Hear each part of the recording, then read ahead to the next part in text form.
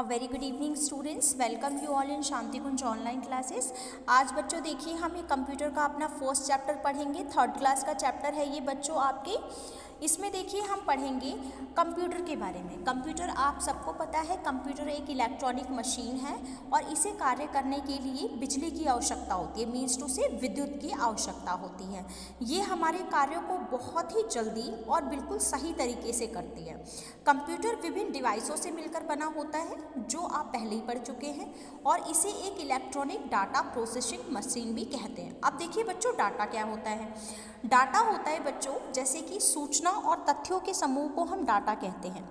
जो भी हमारे पास जानकारी होती है, वो सूचनाओं का समूह होती है। जैसे हमारी डेट ऑफ़ बर्थ है, हमारी कक्षा है, नाम है, पता है, ये सारी हमारे पास क्या है? डाटा है। फिर है प्रोसेसिंग किसी भी डाटा को परिणाम निकालने के लिए कंप्यूटर जो क्रिया करता है, उसे हम क्या कहते हैं? प्रोसेसिंग कहते हैं। अर्थात हमारे द्वारा किए गए आंकड़ों पर कंप्यूटर द्वारा गणना करना प्रोसेसिंग कहलाता है। नेक्स्ट है देखिए परिणाम। जब भी भी आप प्रोसेसिंग के आधार पर जब आपको रिज़ल्ट मिलता है, वो क्या कहलाता है? आपका परिणाम कहलाता है। ठीक है? अब देखिए इनपुट कंप्यूटर में डाटा डालने की जो प्रक्रिया होती है, वो हमारी क्या कहलाती है? इनपुट कहलाती है। है ना? अब देखिए इनपुट और फिर स्टोरेज में फिर क्या होती है? आउटपुट हमें मिलता है। ठीक है? Means to say input processing और आउटपुट ठीक? इनपुट क्या होता है?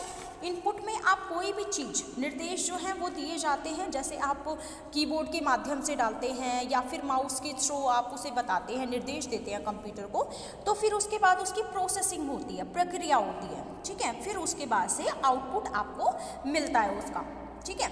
देखिए, जैसे ये है एग्ज़ाम्पल पहले आप इनपुट डालते हैं उसमें, फिर उसके बाद से प्रोसेसिंग होती है और फिर आपको उसका रिज़ल्ट दिखाई देता है। ठीक है बच्चों? तो ये है इनपुट प्रोसेस और आउटपुट ठीक है?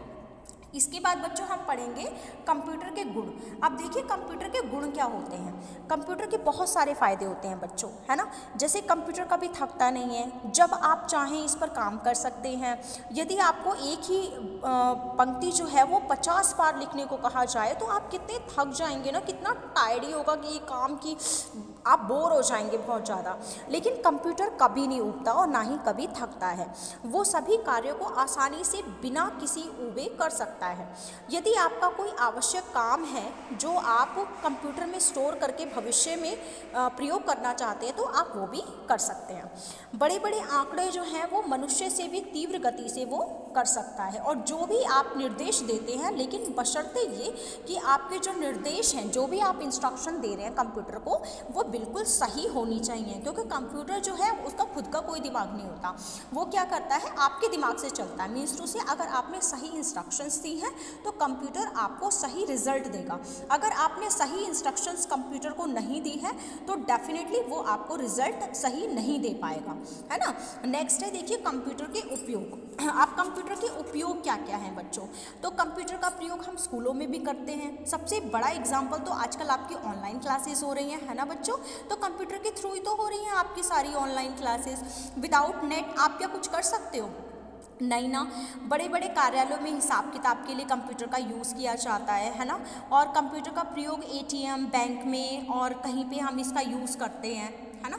तो ये क्या है कि कंप्यूटर का यूज़ है। आजकल तो हम कहीं पे बुकिंग करवाना चाहते हैं, कहीं पे हम जाना चाहते हैं तो उन चीज़ों के लिए भी हम कंप्यूटर का यूज़ कर सकते हैं। ठीक है?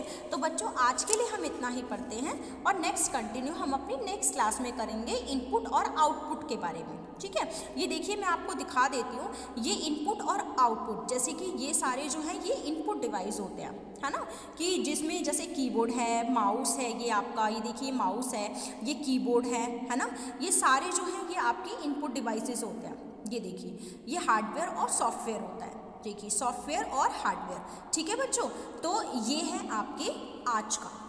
ठीक है चैप्टर इसमें बच्चों, आज के लिए आपको होमवर्क क्या करना है कि आपको हार्डवेयर और सॉफ्टवेयर की अलग अलग चित्र बनाने हैं कि कौन से हार्डवेयर होते हैं और कौन से सॉफ्टवेयर होते हैं। हार्डवेयर जिन्हें आप छू सकते हैं, जैसे आप माउस हैं कीबोर्ड हैं, है ना? और सॉफ्टवेयर जिन्हें आप छू नहीं सकते हैं। ठीक है बच्चों?